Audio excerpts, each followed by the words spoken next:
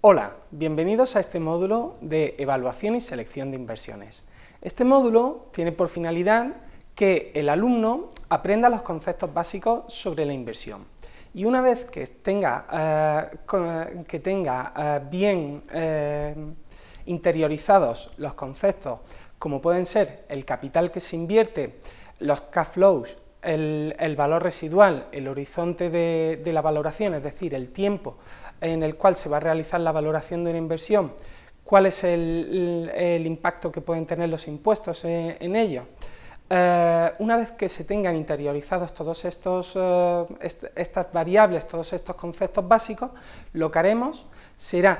eh, presentar al alumno diferentes criterios, diferentes herramientas que permitirán realizar una selección de distintos eh, proyectos que pueden ser totalmente mm, diferentes, eh, son proyectos que en principio pueden ser eh, heterogéneos, se explicarán las herramientas económicas y matemáticas que permitan transformar estos distintos proyectos que en principio no tendrían nada en común en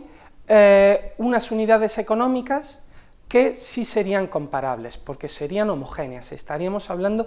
comparar diferentes proyectos en un mismo momento. Por lo tanto, sí que se podría realizar esta, selección, eh, esta, esta valoración de diferentes proyectos, puesto que se han convertido a las mismas unidades y al mismo momento. Eh, podríamos realizar, por tanto, una selección sobre diferentes proyectos en su naturaleza, pero que económicamente eh, son homogéneos, son perfectamente comparables uno con el otro. Por lo tanto, dependiendo de las distintas herramientas que consideremos, ya sea eh, criterios de decisión estáticos, criterios de decisión dinámicos, lo que haremos será comparar estas, eh, estas distintas posibilidades de inversión y seleccionar aquellas que mejor se corresponden con la posibilidad inversora del inversor.